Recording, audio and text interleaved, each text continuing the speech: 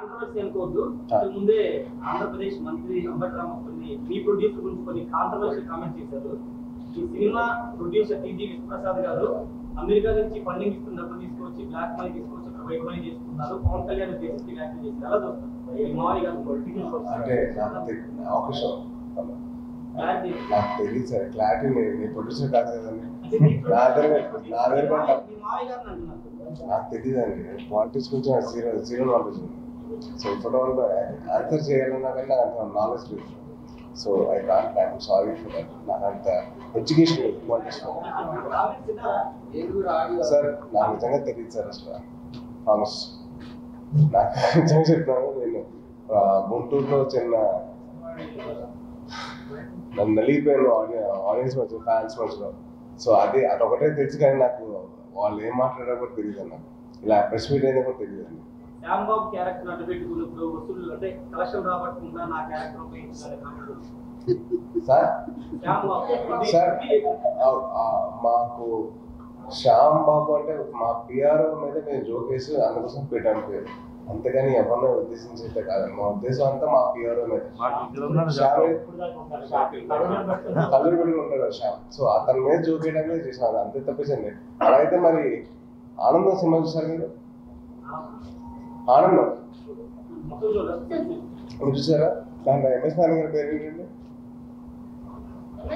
MS Narayana. గారి పేరు. అంటే అప్పుడు అలా అయితే సినిమా విజువల్లీ కదండి అయితే సార్ అది తప్పు సార్ అది. సినిమాని పాలిటిషన్ కలపడం తప్పండి. ఎవరు సార్. వాళ్ళు కలిపితే నాకేం తెలుసు నాకు అంత నాలెడ్జ్ లేదండి. వాళ్ళ సినిమా మీద పట్టుందేమో. నాకు పాలిటిక్స్ మీద పట్టలేదు ఐమ్ సారీ మేడం ఆల్రెడీ చెప్పానండి మళ్ళీ చెప్తున్నాను. కళ్యాణ్ గారు నన్ను చరణ్ని మా తమ్ముడిని ఎవరిని పిలిచి నేను పాలిటిషన్ దిగిపోతున్నాను. మీరు ఒకవేళ నా నా మీద చాలా విమర్శలు వస్తాయి చాలా పేర్లు వస్తాయి. మీకు చాలా బాధగా ఉంటుంది మీరు అవేం పట్టించుకోవద్దు. మీరు ఒకవేళ పాలిటిషన్ వస్తానంటే దయచేసి ప్రాపర్గా మీరు పీపుల్స్ ప్రాబ్లమ్స్ ఏంటో కనుక్కోండి. దాని మీద చదవండి. దానికి సొల్యూషన్ పట్టండి. పట్టి అప్పుడు మీరు ఫుల్ ఫ్లెడ్జ్గా మీరు పాలిటిక్స్ రండి. నాలాగా మీరు హాఫ్ హాఫ్గా రావచ్చు ఎందుకంటే నేను మేనేజ్ చేయగలుగుతాను. నాకంత నా- నాకంత శక్తి ఉంది నాకంత నాలెడ్జ్ ఉంది. మీకు నాలెడ్జ్ ఉంటే మీరు పాలిటిక్స్ రండి. మీరు లేకపోతే మీరు రావద్దు. మీరు నా మీద ఏదో ఏదో వ్యాఖ్యలు విన్నారని చెప్పేసి మీరు రావద్దు.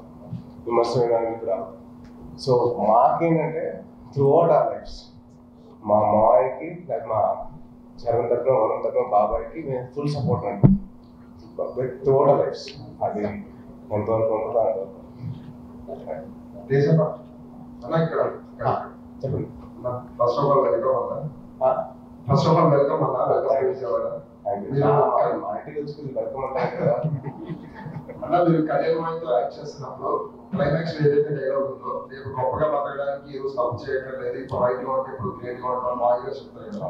ఆ డైలాగ్ చెప్పిన వెంటనే మాయ గారు మీ ఫీలింగ్ ఎలా అనిపించింది? థియేటర్లో మీరు చూస్తున్నప్పుడు కానీ ఏదైనా? ఆ ఆ డైలాగ్ కంటే అండి పైన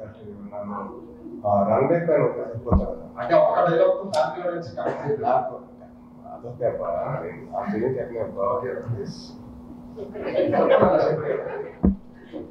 సో బేసిక్లీ రన్వే నన్ను నా క్యారెక్టర్ వదిలేసి వెళ్ళిపోతాను నీకేం నీ మొత్తం తప్పేంటో నేను చెప్పాను నీ కరెక్ట్ అంటే నేను చెప్తున్నాను. నువ్వు ఏదో రైట్ చూస్ చేసుకొని వదిలేసి వెళ్ళిపోతాను కదా అప్పుడు ఏడ్చాను తర్వాత నిజంగా వదిలేసి ఇదే వెళ్ళిపోతాను